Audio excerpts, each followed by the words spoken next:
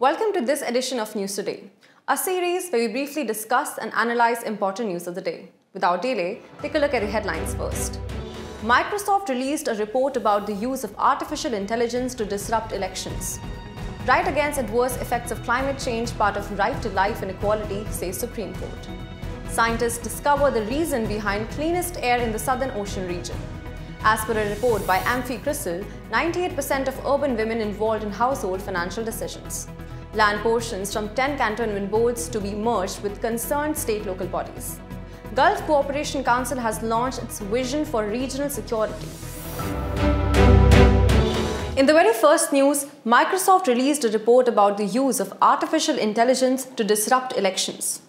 Starting off, let's take a look at the key observations made. It noted that China had attempted an AI-generated disinformation campaign in the Taiwan presidential election. The methods used were AI-generated audio, anchors, memes, and AI-enhanced videos to influence various aspects of the elections.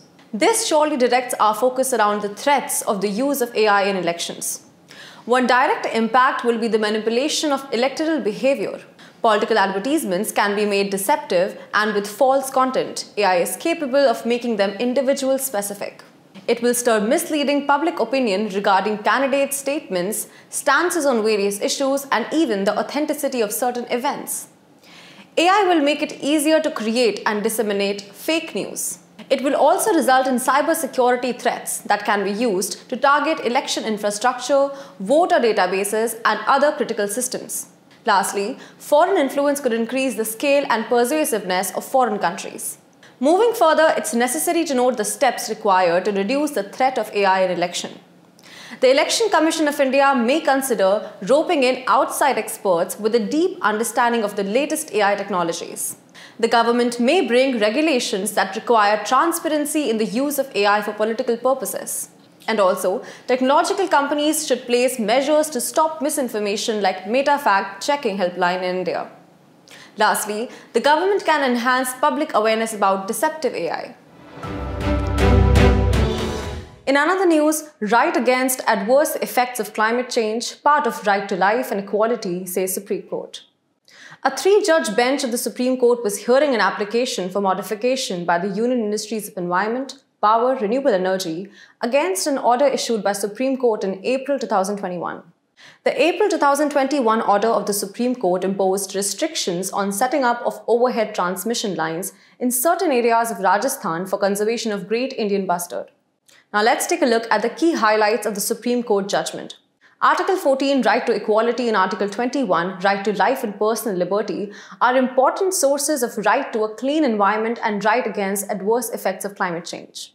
It noted the inability of underserved communities to adapt to climate change or cope with its effects violates rights granted under Article 14 and 21.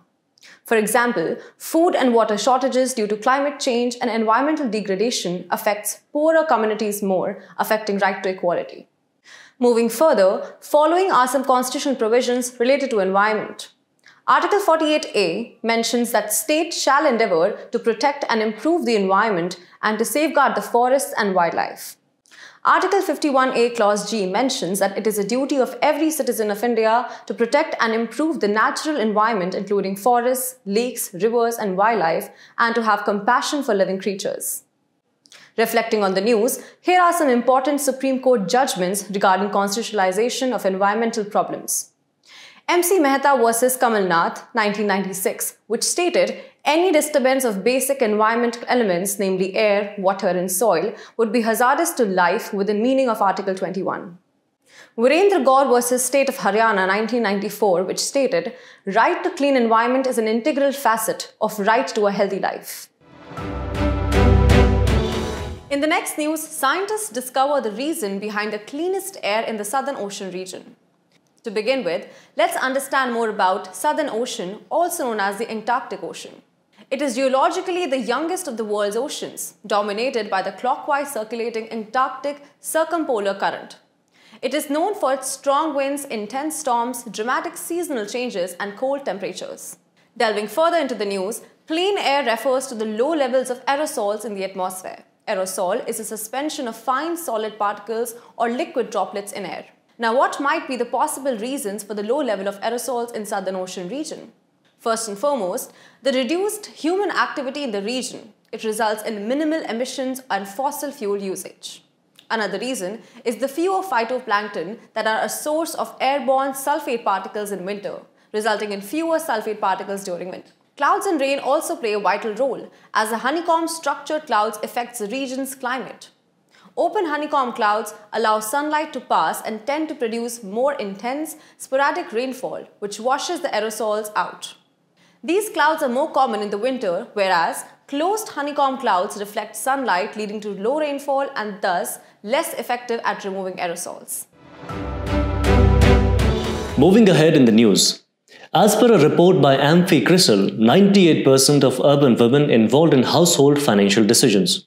A new report from AMFI CRISIL titled Mutual Growth sheds light on the rising financial decision-making power and labor force participation of women in India. The key findings of the report are quite remarkable. Female labor force participation rate has risen to 41.5% as of October 2023, up from just 24.6% five years ago. Nearly half of the women surveyed, 47%, said they take financial decisions on their own. The level of autonomy depends on factors like income source, age, and stage of affluence. This increased role of women in financial decision making carries substantial social and economic implications. On the social front, it can lead to women's overall empowerment, addressing gender disparities, reducing domestic violence and conflict. It also has an intergenerational impact with resources more likely to be allocated towards children's education and healthcare. Economically, it means greater financial literacy and inclusion, better financial planning and wealth management for families and communities. It can also drive entrepreneurship, innovation, increased financial intermediation, and market depth. However, the report also highlights some key challenges that persist in achieving women's financial autonomy. Socio-cultural factors like deep-rooted patriarchy and gender stereotypes continue to limit women's financial independence. Economic disparities such as lower formal workforce participation, the persistent gender pay gap, and the dual burden of unpaid domestic and care work undertaken by women pose significant hurdles. At last, now let's have a look at the steps taken for women's financial autonomy. Initiatives like the PM Jandhan Yojana, Beti Bachao Beti Padhao, self-help group promotion by NABARD, and entrepreneurial support schemes like Stand Up India and Mudra Yojana are steps in the right direction. In our next news, land portions for 10 cantonment boards to be merged with concerned state local bodies. For those who may not be familiar with the term, cantonments are areas where military troops are garrisoned and primarily dedicated to housing soldiers though civilian populations are also present. The genesis of cantonments in India dates back to the East India Company era after the Battle of Plassey in 1757. Barrackpore, near Calcutta, was the first cantonment established in 1765. Currently, there are 61 cantonments across the country, with six of them established after independence. In terms of administration, Local self-governments of cantonments are subject matter of union government under entry 3 of the union list governed by the Cantonments Act of 2006 in accordance with the 74th Constitutional Amendment Act. The cantonments are administered by cantonment boards which perform civic duties such as providing public health, water supply and primary education. It comes under administrative control of the Ministry of Defense. Cantonment Station Commander is the board's ex officio president. These boards are classified into four categories based on their population size, with Category 1 having a population of more than 50,000, Category 2 having population between 10,000 to 50,000, Category 3 with population between 2500 to 10,000, and Category 4 having a population of less than 2500. Now as part of this decision, the military areas within these 10 cantonments will be converted into exclusive military stations under complete army control. This move is expected to help the defense forces focus on strengthening their security, simplifying their land management, and preventing encroachments. Additionally, the civilian population living in these cantonments will now get access to more welfare schemes of their respective state governments. This decision is also anticipated to reduce the strain on the annual defense budget, allowing for better allocation of resources. Moving on to the next news.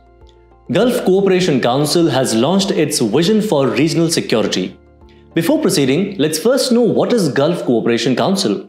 The Gulf Cooperation Council was established in 1981, comprising six Gulf states that are UAE, Bahrain, Saudi Arabia, Oman, Qatar, and Kuwait.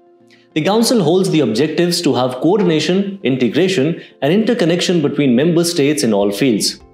If we talk about its organizational structure, then it includes the Supreme Council, composed of the head of the states, is the highest authority, and the Ministerial Council, consisting of foreign ministers. Coming back to the news, the vision, adopted in December 2023, proposes a comprehensive framework of regional security which promotes negotiation and dialogue to overcome disagreements, violence, and conflict.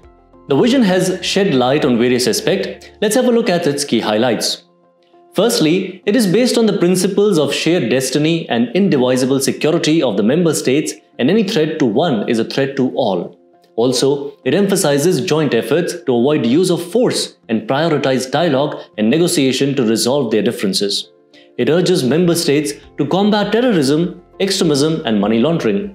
It also urges member states to support international and regional efforts on non proliferation and make the region free of weapons of mass destruction. Moreover, there is a great emphasis on activating Arab Peace Initiative to reach a just resolution of Palestinian cause in accordance with the two-state solution. Additionally, climate change, water and food security, energy security, defending economic resources and creating investment opportunities have also been prioritized. The vision for regional security holds a huge significance as well, as it represents a call to action for all parties to collaborate towards a secure and prosperous future. Also, it offers an opportunity to member states to resolve historical regional conflicts such as Palestinian problem and more. The place in news for today is Ecuador with its capital Quito. It is in the news as recently Mexico suspended diplomatic ties with Ecuador after a police raid on the Mexican embassy in Quito. If we talk about its political features, Ecuador is a country located in northwestern South America, bounded by Colombia to the north Peru to the east and south, and the Pacific Ocean to the west. Galapagos Islands west of the mainland of Ecuador are part of Ecuador. Geographically, the equator passes through Ecuador. The Andes mountain range runs through it, with major rivers like Amazon, Guayas, and Putumayo crisscrossing the landscape. It also has several active volcanoes, including Cotopaxi and Tungurahua, and Mount Chimborazo being its highest peak. As we conclude today's main news, let's take a look at some quick updates. India has secured the right to operate its second overseas port after Chabahar in Iran, Sittwe, after approval by the Ministry of External Affairs. Sittwe port is a deep water port located at the estuary of Kaladan River in Rakhine state of Myanmar. Enrollment under Pradhan Mantri Fasal Bima Yojana in financial year 2023-24 saw an increase of 27% as compared to previous financial year. This yojana was launched in 2016.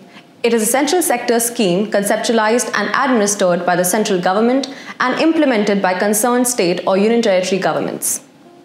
Scientists have discovered the sudden reversal in the direction of the Arctic polar vortex spin.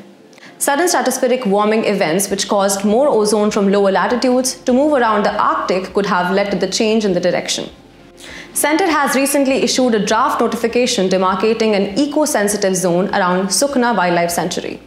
Eco-sensitive zones are ecologically important and fragile areas around protected areas. They are notified by the central government under the Environment Protection Act 1986. The state of Jharkhand is taking many steps for the restoration and conservation of river Damodar. Damodar River originates in Khamarpat Hill on Chota Nagpur Plateau in Palamau district of Jharkhand. It is a sub-basin and part of the Ganges river system. Netaji Subhash Chandra Bose Island, formerly Ross Island, is facing an invasion of Chittal deer. Chittal are mainly found in Bangladesh, India, Nepal, Pakistan, and Sri Lanka up to the geographical barrier of the Himalayas. They are native to the Indian subcontinent. Their IUCN status is least concern. A study by IIT Madras reveals the pervasive presence of PFAS, also known as forever chemicals, in Buckingham Canal, Adyar River, and Chembarambakkam Lake. PFAS are a vast family of synthetic chemicals found in everyday products such as non-stick cookware, upholstery, food packaging, water or stain-resistant coatings and industrial materials. The events of climate change have disrupted the normal life of the Changpa tribe. Changpa tribe are a semi-nomadic tribes of Tibetan origin living in the plains of eastern Ladakh. They profess Tibetan Buddhism and live in conical yak skin tents called rebo.